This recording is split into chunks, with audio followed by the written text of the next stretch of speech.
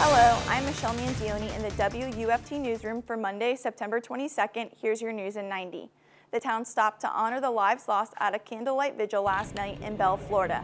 A sea of candles flickered as pictures of Sarah Spirit and her six children were nearby. Police say Don Spirit shot and killed his six grandchildren, their mother, and then turned the gun on himself on Thursday. A Rutgers University student died last night after attending a fraternity house party.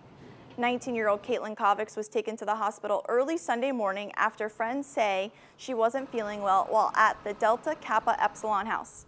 The sophomore was pronounced dead a short time later. The cause of death has not been determined, but officials believe alcohol may have been a factor. After 10 months and 442 million miles, NASA's MAVEN orbiter has reached Mars' orbit. MAVEN will study the red planet's upper atmosphere for the next year. The bus-sized spacecraft is part of a $671 million research mission.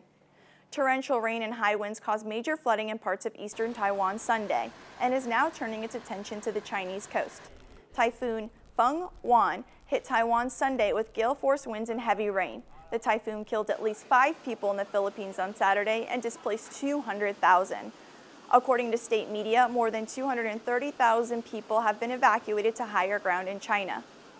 More than 100,000 Syrians have fled into Turkey after ISIS militants closed in on a border town in Syria. A Turkish official says more than 130,000 Syrian Kurds are fleeing ISIS fighters. That's your news in 90. Thanks for watching.